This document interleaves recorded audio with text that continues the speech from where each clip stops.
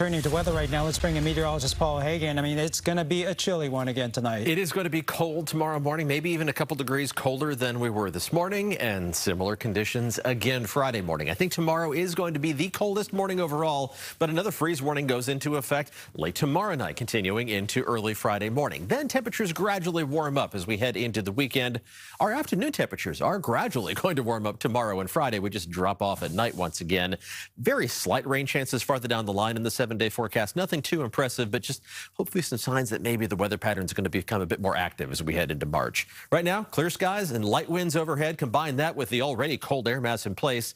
It's an ideal recipe for temperatures to just drop quickly, and we've already fallen down into the mid to upper 30s, except for the low to mid 40s in San Jose and San Francisco. But Oakland's already down to 39 degrees. It's 34 degrees in Livermore and Santa Rosa, and temperatures are going to continue falling. We have the freeze warning in effect for all inland parts of the Bay Area. This goes into effect at 2 a.m., continues till 9 a.m. That's for both tomorrow and again Friday with a frost advisory for the North Bay coast, down the peninsula and into the Santa Cruz Mountains, and around most of the Bay. The only place that's not under a frost advisory or freeze warning the city and county of San Francisco. Everybody else expecting temperatures to at least be near freezing around the bay and below freezing farther inland. Let's take a look at those specific low temperatures. The coldest spots are going to be in the mid to upper 20s in the valleys of the North Bay and the interior East Bay. You'll be the cold spots tomorrow morning. Temperatures, though, around San Jose dropping to near freezing, freezing in Fremont, and close to freezing around the bay. 40 degrees in San Francisco, low 40s in Pacifica, but probably dropping down to the mid 30s around Half Moon Bay. So even some coastal spots are going to be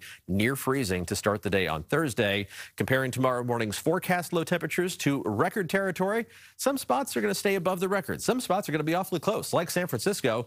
While the city's going to be one of the warm spots in the map, it's still good enough for a record, hitting 40 degrees, tying that old record. Santa Rosa likely to break another record tomorrow morning, and Livermore is going to be close, dropping down to the upper 20s, while the record low temperature is in the mid 20s. But then our temperatures do bounce back. A couple degrees warmer than today.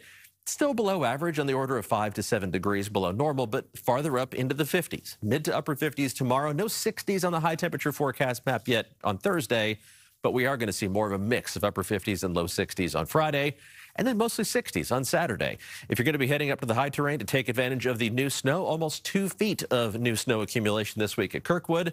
Ideal conditions there. Lots of sunshine tomorrow. Temperatures are going to be on the chilly side in the high country, too. All the lifts are open, machine groomed conditions, and finally, those machines have some fresh snow to, finally, to uh, groom and made for better conditions overall. Temperatures are going to warm up as we head into next week. The warmest day is going to be Tuesday. Some passing clouds overhead on Sunday and some more passing clouds on Wednesday. If those clouds are going to drop a shower on us, it's likely to be north of the Golden Gate and right along the coast. Those chances do not look overly impressive at this point on the order of 20 to 30 percent. Something we'll keep an eye on, especially once we get past the cold weather pattern that's still with us for the next couple of nights.